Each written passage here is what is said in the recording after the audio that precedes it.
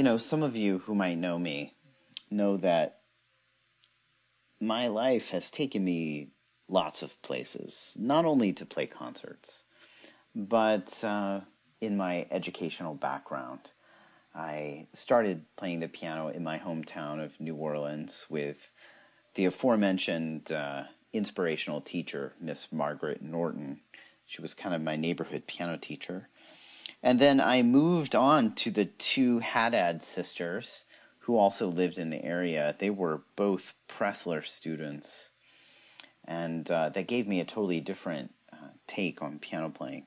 Then I moved to John Murphy, who was a professor at, and still is a professor at Loyola University. Um, this was all before high school. John, of course, was a he was a big fan of Mr. Horowitz, uh, but he was not a big fan of Franz Liszt. And um, when I started to get interested in Liszt initially, I remember John saying that, you know, Liszt was not a particularly good composer.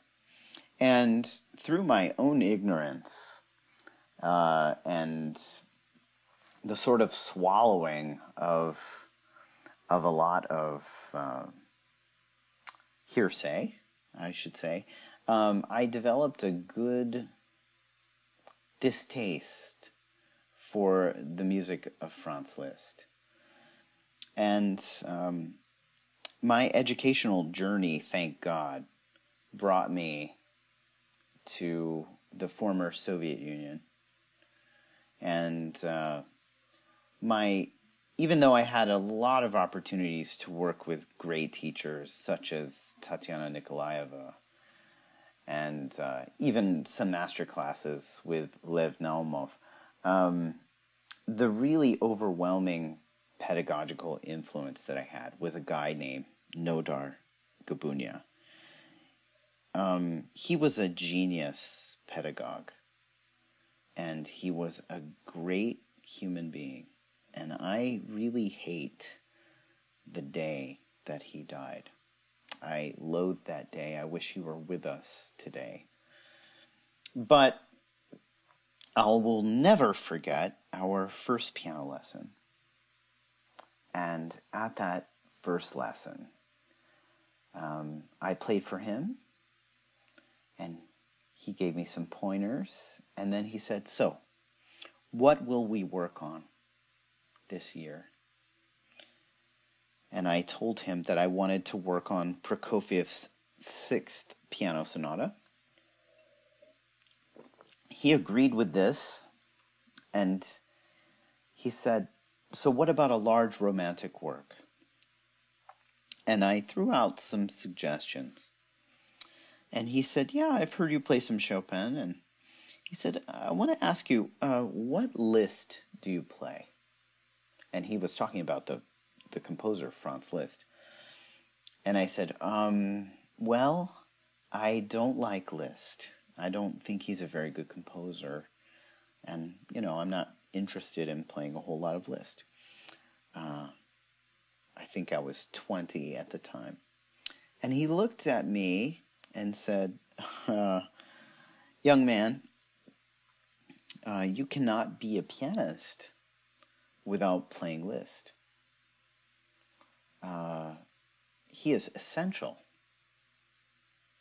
to your educational development. And he said, I want you to play a really a great work by Liszt so you can see what you are missing. And he assigned me right then the Liszt B minor sonata. Uh, which is a very large and great masterpiece. And I love him because what he did was not only show me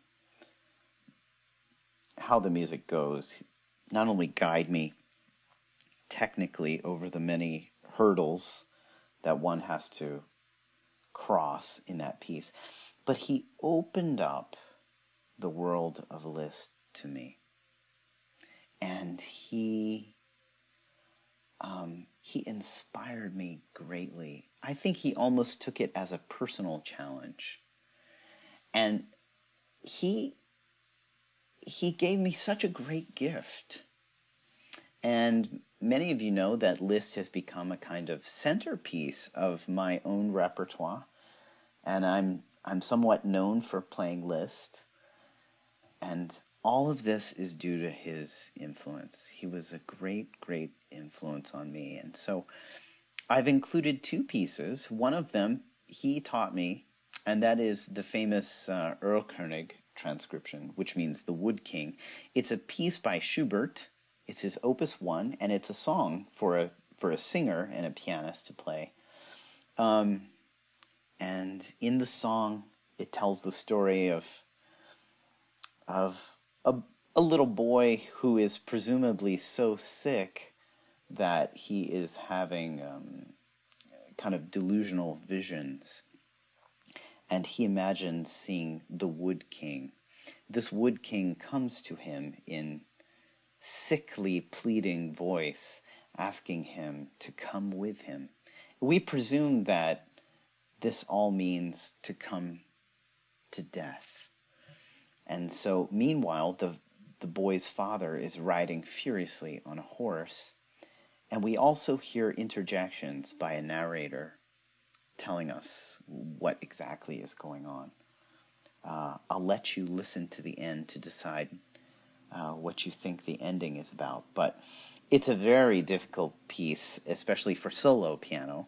Um, my great hero, the Russian pianist Sviatoslav Richter, uh, said in his diary that he decided to give up playing it he said such difficulties are probably harmful to one's health, and so he stopped playing it. This is a live performance, and uh, I, you know, without Mr. Gabunia's influence in my life, I would never be playing this repertoire.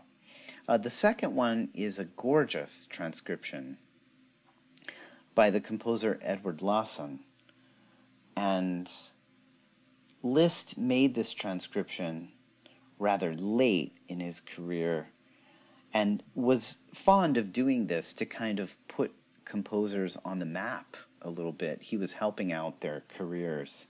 And so these are two gorgeous pieces of Liszt, uh, which follow my historical trajectory.